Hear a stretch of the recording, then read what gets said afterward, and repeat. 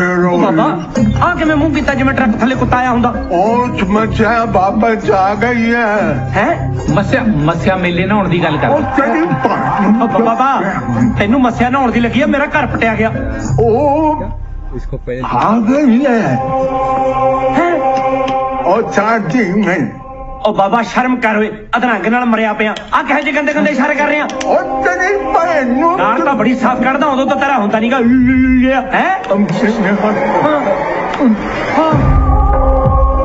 ਉਹ ਤੂੰ ਮੇਰੇ ਪਿੱਛੇ ਇੱਥੇ ਵੀ ਆ ਗਈ। ਲੈ ਮੈਂ ਤਾਂ ਤੇਰੇ ਤੋਂ ਪਹਿਲਾਂ ਆ ਗਈ ਸੀ। ਕਿਉਂ ਬਾਬਾ ਜੀ? ਆ ਬਾਬਾ ਤੂੰ ਅੱਧਾ ਕੀਤਾ। ਉਹ ਬਾਬਾ ਉੱਠ ਓਏ ਲਾੜੇ ਦੇ ਨਾਲ। ਉਹ ਬਾਬਾ ਉਹ ਮਰ ਕੇ ਵੀ ਤੁਰੀ ਫਿਰਦੀ ਆ ਤੂੰ ਅਧਰੰਗ ਨਾਲ ਹੀ ਮੰਜੇ ਨੂੰ ਲੱਗ ਗਿਆ। ਬੰਦਿਆਂ ਦੀਆਂ ਆਹੀ ਹਰਕਤਾਂ ਕਰਕੇ ਨਾ ਆ ਜਨਾਨੀਆਂ ਆਪਣੇ ਸਿਰ ਚੜ ਜਾਂਦੀਆਂ ਨੇ। ਬਾਬਾ ਹੋਰ ਕਿੰਨਾ ਕੁ ਠੁਕ ਜਾ ਠੁਕਿਆ ਤਾਂ ਪਿਆ। ਰੁਕ ਜਾ ਕਹਿੰਦਾ ਯਾਰ। ਅੱਛਾ। ਰੁਕਦਾ ਮੈਨੂੰ ਮੈਨੂੰ ਨਾਲ ਲੈ ਕੇ ਚੱਲੀ। ਹਾਂ। ਹੁਣ ਇਹ ਸਾਡੀ ਸਾਂਝੀ ਦੁਸ਼ਮਣ ਹੈ।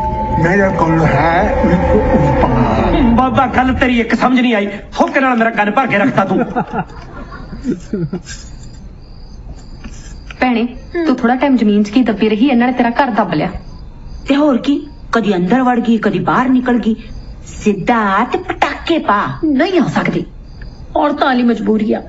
ਮੈਂ ਆਪਦੇ ਸੌਂਕੜ ਦੇ ਮੂੰਹੋਂ ਚੜੈਲ ਨਹੀਂ ਗਵਾ ਸਕਦੀ। ਹਾਂ। ਹੂੰ। ਪਰ ਉਹਦੇ ਅੰਦਰ ਦੀ ਚੜੈਲ ਤਾਂ ਜਗਾ ਸਕਦੀ ਆ। ਫਿਰ ਉਹਨੇ